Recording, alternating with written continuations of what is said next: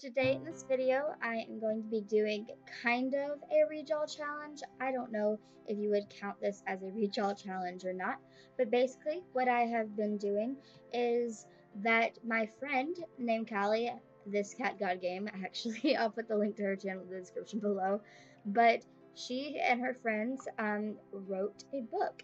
So she asked me if I would like to do the cover for it. And I was like, of course I want to do the cover for it. And I did it a couple months ago. And um, it and I and now I look back at it, I was like, that looks really bad. so she, I was like, can I redraw it? She was like, okay, sure.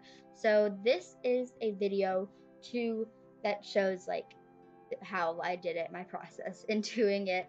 But um, she's trying to get the book published right now, and I will go ahead and read the summary of the book right now that she sent to me for me to read. So here it goes. Years ago, the four clans had been one preposterous village with four commanders until their four heirs broke the alliance.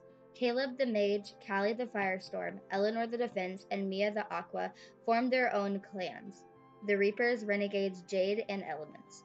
Now they are bloodthirsty and ready for revenge, and Callie and Eleanor's heirs have fallen into forbidden love. So that's really cool, and this is what I came up with it.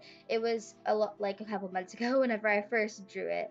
And yeah, so the name of it is The Four Clans, and she's trying to turn this into a series. The first book is called The Heart of the Battle. And that's just the summary, and I'm not going to spoil it because if she does end up getting this published, I want you guys to um, read it for yourselves because I read it and it's a really good book.